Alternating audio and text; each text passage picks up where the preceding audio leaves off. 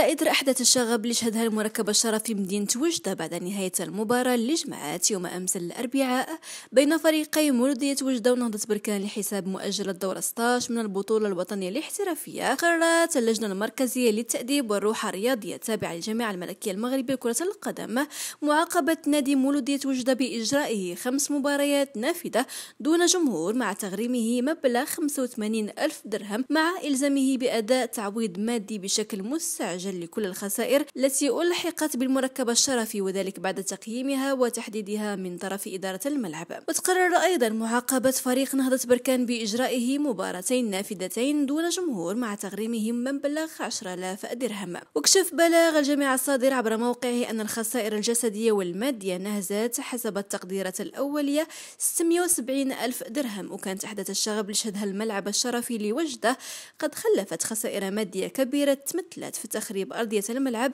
بالإضافة إلى تخريب المنصة الشرفية بحيث أقدمت بعض الجماهير المشاركة في أعمال الشغب على تبادل الرشق بالحجارة والكراسي.